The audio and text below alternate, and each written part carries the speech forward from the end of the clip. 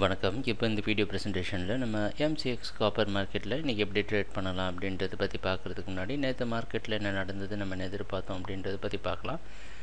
நீங்கள் பார்த்துருக்குது காப்பரோட ஏழு நிமிஷம் கேண்டலிஸ்டிக் சார்ட் இந்த கேண்டலிஸ்டிக் தான் நேற்று மார்க்கெட்டோட ப்ரைஸ் ஓப்பனிங் நானூற்றி அறுபத்தஞ்சு பக்கமாக ஓப்பன் ஆகிருக்கு காப்பர் மார்க்கெட் நம்ம என்ன எதிர்பார்த்தோன்னா மார்க்கெட் தொடர்ந்து பையிங்க்கு சாதகமாக இருக்கும்னு எதிர்பார்த்தோம்.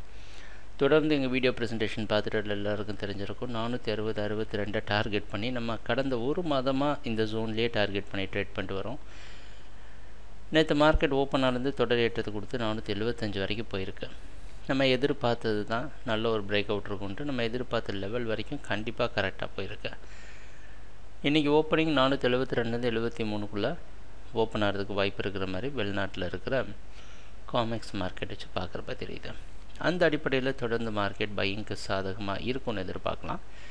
அடுத்த இலக்கு நானூற்றி எண்பது. ஸ்டாப் லாஸ் நானூற்றி அறுபத்தி ஏழு வரைக்கும் பை பண்ணி அறுபத்தி ஐந்தில் ஸ்டாப் லாஸ் வச்சு ட்ரேட் பண்ணலாம். ட்ரேடிங் நடக்கிறப்ப பார்ப்போம் என்னென்ன மாற்றங்கள் வருதுன்னு. எங்கள் வீடியோ ப்ரெசன்டேஷனை தொடர்ந்து பார்த்துட்டு வந்ததுக்கு மிக்க நன்றி மகிழ்ச்சி வணக்கம்.